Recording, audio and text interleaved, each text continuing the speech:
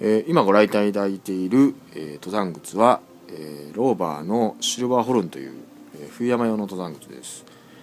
え、冬山の登山靴はですねこのローバーに限らず、え、夏用に比べると、え、皮が硬かったり、え、大きかったりとかしてですね靴紐がうまく縛れないという方特に女性の方で力が、え、なかったりとかですね。で縛ってもまたすぐ緩みやすいというえー、ご相談をいただきましたので、えー、そういった場合にどうやって対応すればいいかっていうことをちょっとこれから説明したいと思いますのでご覧ください。まずですね、えー、しっかりかかとに、えー、かかとのカップにですねしっかりとこうかかとをですね押し付けてでつま先から、えー、縛っていきます。でここで力がない人はですねあの腕にこう巻いたりとかしてですね少し足を前に出してグッとこう引っ張ると力が入ったりとかしますのでそれで、えー、フックにかけていくんですけどもここでですねただフックにこうかけてるだけだと緩んだりとかですねあのまあ歩いてるうちにだんだん緩んできたりとかすることもありますのでフックにかけた後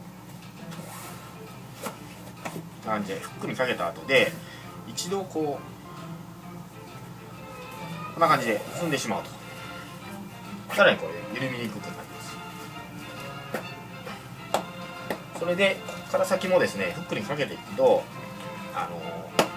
まあ、ちょっと緩むとこのフックから外れたりとかしてさらに緩んでしまったりとかするのでそう緩まないようにこうフックにかけるたびに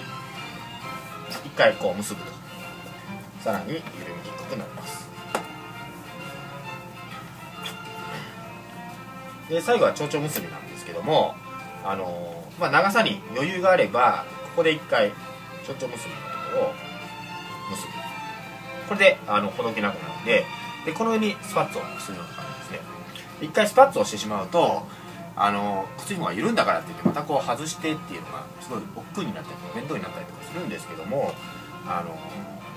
まあ、できれば緩んでるのに気が付いたらあの一回外してこんな感じで縛り直すようにしていただければと思いますので、まあ、一度やってみてください。えー、登山靴は、えー、冬山用の登山靴に限らず、えー、夏山用もですねメーカーや、え種類によって、